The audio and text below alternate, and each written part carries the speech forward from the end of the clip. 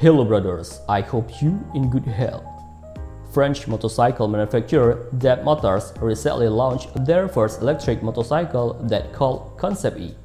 This electric bike presents the company's vision for the future and makes it DAB Motors' first step into the premium electric motorcycle competition. So let's talk about it.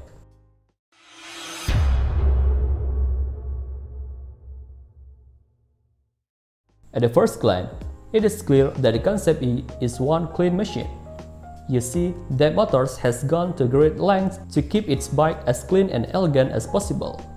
To do this, the company has designed the frame and the swing arm in such a way that the motorcycle cables can be placed inside. This results in a truly seamless mechanical masterpiece that looks absolutely stunning from all angles. Apart from its appearance, the DAB Concept E is a feature-rich machine. This naked bike is equipped with a 10 kW electric motor and a 51.8 volt lithium-ion battery. The Concept E produces the equivalent power of 125cc motorcycle.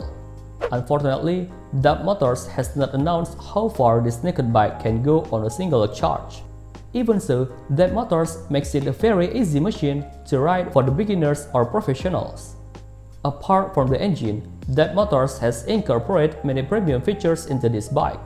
For example, it gets lightweight carbon fiber body panels and a full carbon fiber swing arm, as well as Ohlins suspension components designed specifically for the Concept E.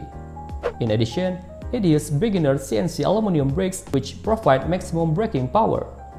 Last but not least, Gates belt drive equipped with aluminum engine pulleys to maximize throttle response while minimizing noise. But unfortunately, because it is still a concept, DAB Motors has not announced the official price of this Concept E, including how many units it will produce later. Stay healthy brothers, hope you enjoy this video.